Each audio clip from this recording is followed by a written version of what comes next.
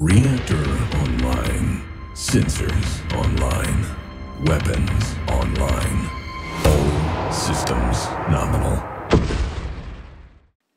Hi everybody, Dave Fanjoy here, and today I'll be showing you the new Black Knight miniature that just arrived for uh, from a promotion uh, for me to, to show you guys what it is. So you'll recall the old Black Knight was based on art from a long time ago. The miniature looks like this. Here's an example. This particular piece appears in the tech manual book, I believe. Anyway, the new Black Knight uh, has different art, and uh, one has recently been produced in plastic and should become available here in the near future. So I'm going to show you everything that uh, comes with it. So first it comes with a little hex base, has the, the company information on the bottom. Comes with uh, torso pieces. It comes in a lot of parts, which makes it easier to, to customize. There's the upper torso, lower torso, uh, and the head. It uh, comes with the right arm with the PPC, and you'll see the hand isn't on there, and that's because it comes with two different options for hands. It comes with a closed fist and uh, an open hand see there, so you can do it however you like. Uh, similar deal with the left arm here. Uh, the difference here is again it has the open hand and the closed fist, your preference, but it also uh, comes with the sword for the variants of the Black Knight that have a sword. Push that over here. Uh, legs are interesting. Uh, we have the, the right leg, uh, just a regular leg. Uh, left leg, there's actually two choices. There's a straight leg for a standing pose, and a uh, bent leg if you want to do a running pose. And I want to point out that it goes together pretty easily, which I'll demonstrate here in a minute. But one of the keys is that uh, each one of these um, uh, pieces has kind of a key in it. You'll see here there's a, a notch there and a corresponding slot in the torso piece here, so it kind of locks into place about like that. And if for whatever reason you wanted to move more than the uh, allowed play there, you could shave that piece off and put the arms and legs at whatever uh, angle you wanted. And I'll do that with my CA glue here.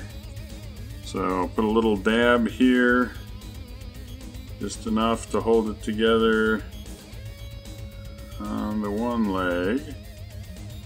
And without even setting that down, I'll do the same thing on the left leg. And again, I'm using the standing pose one.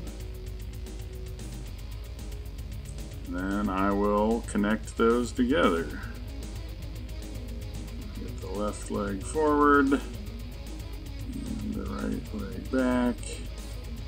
And those kind of lock into place. It's about as easy as that. And I will set those aside to dry here in just a minute. While I'm doing that, I will plan what I'm going to do on the uh, right arm here. I'm going to use the closed fist, I think, today. Set this guy down to dry. And you'll see that uh, there's kind of a, a pentagonal shaped socket there and a pentagonal shape uh, mating part here on the hand. So you pretty much, it looks like you've got some different angles at which you could put the hand. There's only one or two that really seem to make sense, so about like that. So that's what we're going to do. Again, a little, little dab of glue here. And you'll also note, normally when I'm assembling uh, miniatures, I'll, um, I tend to pin them with steel rods and that makes them uh, the joints a lot more sturdy. And I'm intentionally not doing this today uh, mostly because it's not really necessary with this mini it fits together uh, pretty well.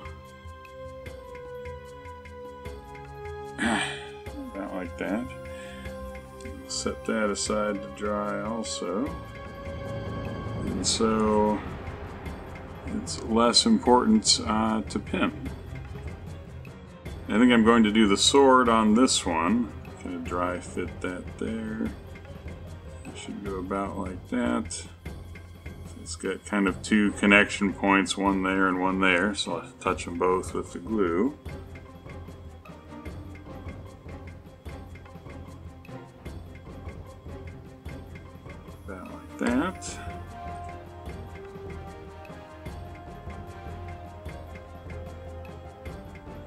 Sit there and hold it for just a little bit. If you like to use an accelerator, you could do that. I generally don't. So I'll set that there. While these are drying, uh, I'll take the pieces that I'm not going to use, so the extra left hands and the extra right hand. Get those out of the way. Let's see. So I think Next, there's a couple different ways you could go about this. A lot of times I will use uh, green stuff or epoxy putty to stick a figure to a base. Uh, I think today I'm just going to do it with the CA glue. So uh, just a little, little dab on the feet here for the parts that are actually going to be on the hex base.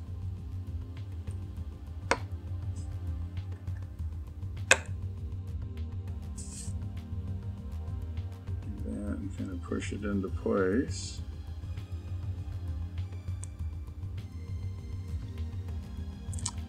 And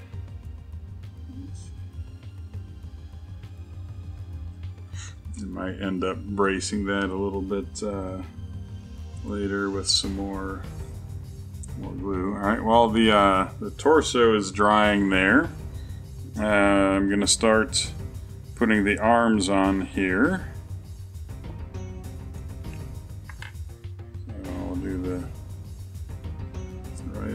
First. Now the default arm position here uh, kind of leans out pretty far to the side, which I think is kind of a cool pose, but uh, it might not be what you always want to do. So I think the right arm is an example where uh, you might decide at some point. See, it's pretty it's kind of firing out to the side. At some point you might decide you want to have an arm that's a little bit closer to the body, so uh, you would just shave off part of that little connecting piece there if you wanted that look. Alright. Add a little bit of glue here to the other side. Left arm with the sword.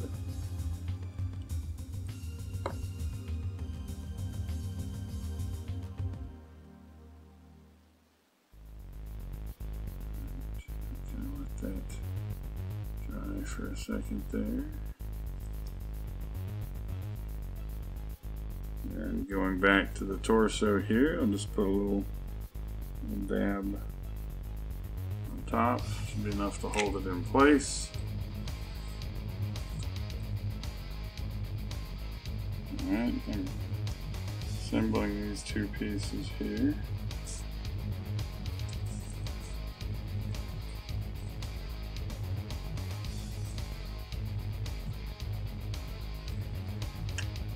Alright. And finally I've got the head. Now sometimes you might want to add some uh, antennas up here on the those two little stands there or you can leave them as is. Uh, for this particular one I'm just going to leave it as is. I might add some antennas later. A little, little dab of glue should be enough to get the head in place there. And there you go. So, that's our uh, Black Knight assembled as quick as that. I got to be careful with him. I got to let him let him dry now. But uh, yeah, that's the, the look of the new new Black Knight. So thanks for watching. We certainly hope you enjoyed this video. Please subscribe and leave your questions or comments below. Follow us on Facebook at Battletech Camo Specs Online. Check out our website at camospecs.com. Thank you for watching, and we'll see you next time. Heat critical, shutdown imminent. Time for Pop Tarts.